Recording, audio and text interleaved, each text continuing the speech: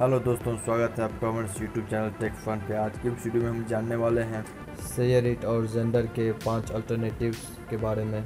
जैसा कि आप जानते होंगे भारत सरकार द्वारा चाइनीज़ के कई सारे ऐप्स बंद बैन कर दिए गए हैं जो कि भारत में बहुत फ़ेमस हैं। शेयर इट भी उनमें से एक है और भी कई सारे फ़ेमस ऐप्स हैं टिकटॉक लाइकी वीगो ये सब। तो चलिए हम जानते हैं पाँच अल्टरनेटिव्स के बारे में। तो हमारा जो पहला ऐप है, वो है शेयर ऑल जैसे कि आप आइकन देख सकते हैं, ये वाला। ये भारत का बना है और इसका स्पीड ब्लूटूथ से 300 गुना फास्टर है और बहुत ही सिंपल इसका इंटरफेस है। कोई इसका साइज़ लिमिट नहीं है सेंड करने के लिए और अगर आप इसमें कोई फ़ाइल शेयर करते हैं, रिसीव करते हैं तो आप उसको इसमें देख के इसे आप प्ले भी कर सकते हैं। यू एंड प्ले का इसमें सिस्टम है और जंक क्लीनर भी होता है इसमें, जिससे कि आप जंक क्लीन कर पाएँगे आसानी से। और प्रोफ़ाइल के कई सारे भी सेटिंग्स होते हैं और डुप्लीकेट फाइल्स भी आप इसमें ढूंढ करके उसको जो है सो रिमूव कर सकते हैं। ये पंद्रह लैंग्वेज सपोर्ट करता है।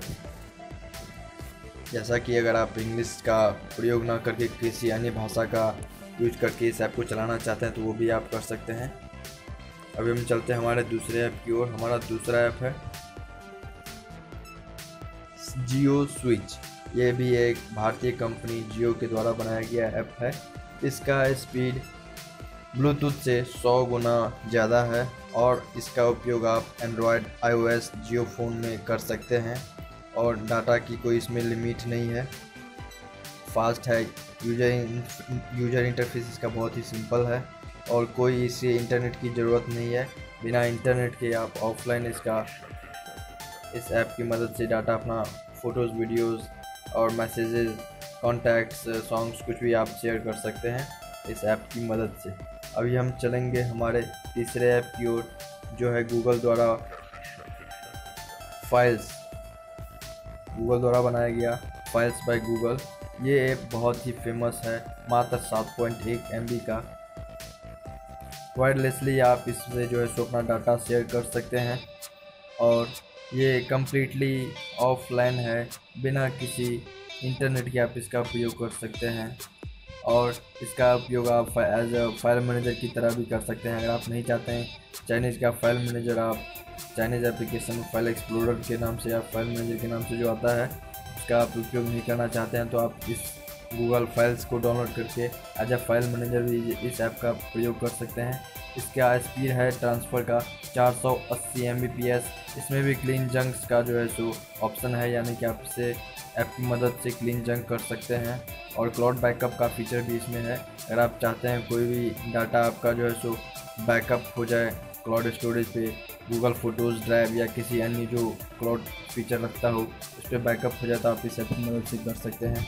बहुत ही फास्ट है सिक्योर है और ब्राउजिंग फ़ाइल भी आप कर सकते हैं। एज ए फ़ाइल मैनेजर ये फ़ोन को भी आपको क्लीन अप करता है डुप्लीकेट फाइल्स को हटाता है और इनक्रिप्टेड है सिक्योर है। तीन इसमें मुख्य फीचर हैं और जो कि इसे ऑल इन वन बनाता है फ़ाइल शेयरिंग का फ्री अप स्पेस का। जैसे कि स्टोरेज की कमी आपको नहीं होने पाए। फ्री अप कर देगा बैकअप हो जाने के बाद और फाइंड फाइल्स फ़ाइल एक्सप्लोरर के तौर पे। तो ये बहुत ही बेहतरीन ऐप है गूगल के द्वारा फाइल्स गूगल फाइल्स इसका उपयोग आप ज़रूर करें। तो हम चलते हैं हमारे चौथे ऐप की ओर। हमारा चौथा ऐप है सुपर बीम ये नन चाइनीज़ ऐप है। ये भी एकदम सेरिट की तरह सिंपल है।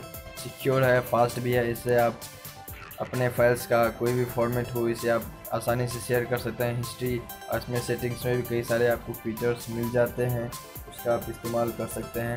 इसमें आपको शेयर के लिए दो ऑप्शंस होते हैं, एक तो क्यूआर कोड और बाकी मैनुअली कीज से आप फ़ाइल शेयरिंग कर सकते हैं।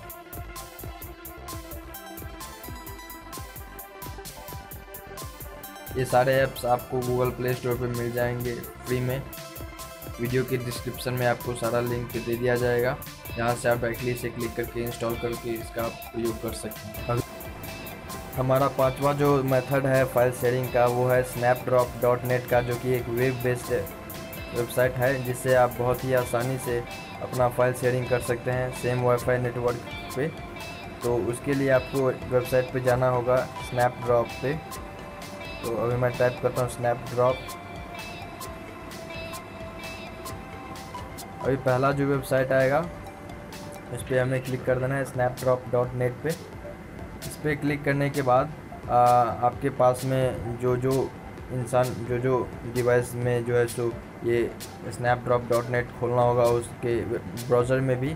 खोलने के बाद आपको दिख जाएँगे जो जो डिवाइसेस में अभी ये खुल रहा है जैसे कि अभी मैंने खोला है विंडोज़ फायरफॉक्स में ये दिख रहा है। मैं शेयर करना चाहता हूँ विंडो फायरफॉक्स में अपना डाटा इस फ़ोन से। इस पर मैं क्लिक करूँगा और उसके बाद मुझे डाटा देखने को मिल जाता है। यहाँ से मैं शेयर कर सकता हूँ।